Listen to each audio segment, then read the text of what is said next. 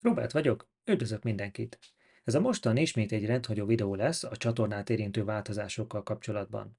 Mielőtt viszont rátérnénk ezekre a változásokra, szeretném most is megköszönni nektek a visszajelzéseket és a kommenteket.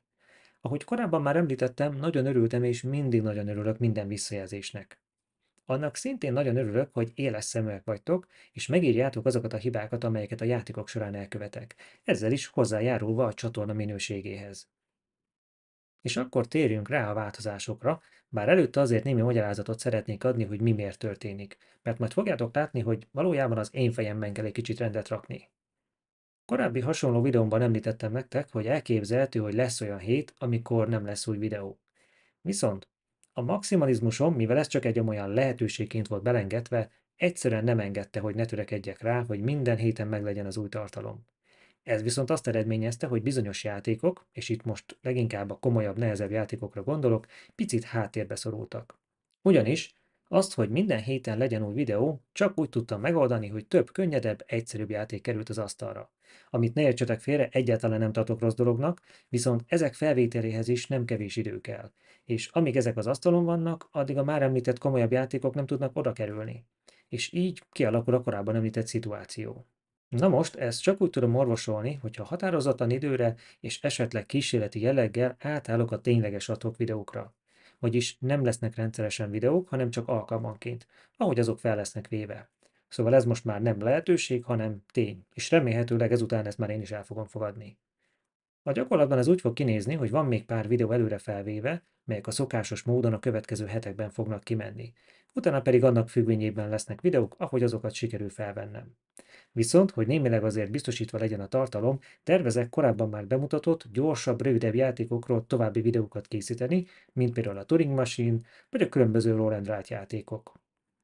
Tudom, hogy ez némelyeknek nem feltétlen pozitív változás, ezért arra gondoltam, hogy azért némi egyensúlyt, vagy hát kompenzációt hozunk ebbe a dologba, hogy egy picit megnövelném az interakciót köztetek és köztem.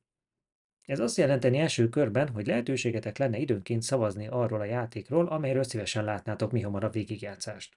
A szavazás részleteire majd mindjárt visszatérek. Ezen kívül lehetőségetek lenne kérdéseket feltenni a csatornával, a játékokkal kapcsolatban, ami éppen érdekel titeket, és annak függvényében, hogy mikor gyűlik össze bizonyos mennyiségű kérdés, én mindig készítenék egy ilyen Q&A, vagyis egy ilyen kérdezfelelek részt.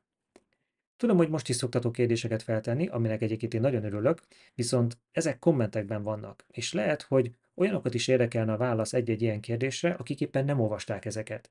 Szóval így legalább ezek a dolgok is egy kicsit jobban összeszedettebbek lennének. Nézzük akkor a részleteket, kezdve a szavazással. Kezdetben itt YouTube-on lenne szavazás, de ez majd még változhat a gyakorlati tapasztalatok függvényében. Az is lehet, hogy majd kikérem a véleményeteket, hogy maradjon-e a szavazás itt YouTube-on, vagy legyen inkább a Board Game Geek-en. Az első szavazás egyébként ezzel a videóval egy időben fog kimenni. A kérdéseket pedig, amiket szeretnétek feltenni, feltetitek e-mailben, az e-mail címet megtaláljátok a csatorna adatlapján, ennek a videónak a komment szekciójában, később pedig mindig az aktuális kérdez felelek rész komment szekciójában. Tehát ez így fog rotálódni majd. Viszont fontos, hogy az ezen videó komment szekciójában lévő kérdéseket, ha csak külön nem jelzitek számomra az ellenkezőit, úgy fogom tekinteni, hogy a kérdez felelek videókhoz írtátok, tehát nem fogok rájuk kommentben válaszolni. És végül Board Game Geek-en létrehoztam egy guildet, vagyis egy ilyen céget Robert Soloplay néven, ha van kedvetek, csatlakozhattok, és ott majd lesz külön fórum indítva a kérdéseknek. Majd a linket ehhez megtaláljátok a videó alatti leírásban. Hát ennyi lett volna, köszönöm, hogy meghallgattatok, várom majd a véleményeteket, a kérdéseiteket, és akkor találkozunk a következő videóban.